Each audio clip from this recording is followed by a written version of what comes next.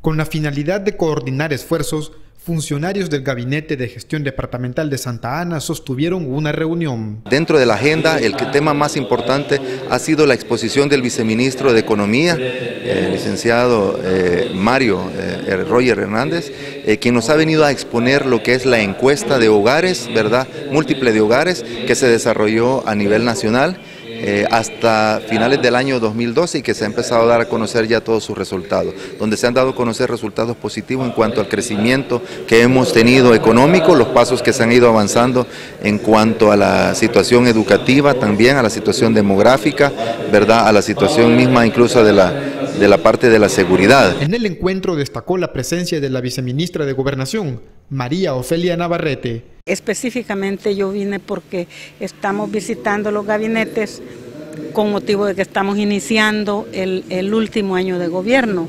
Y entonces hay que hacer el énfasis en que tenemos que trabajar con entusiasmo hasta el último día. Asimismo, se sumaron los representantes del Ministerio de Educación y la Defensoría del Consumidor.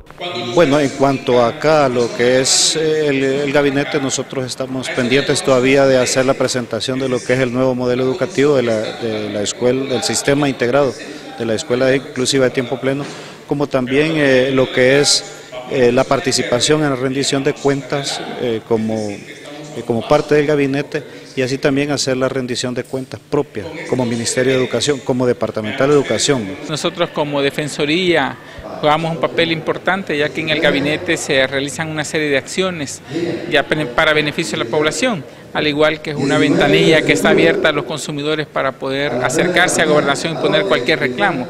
Entonces nosotros estamos a la expectativa siempre de poder atender con calidad y calidez los reclamos presentados.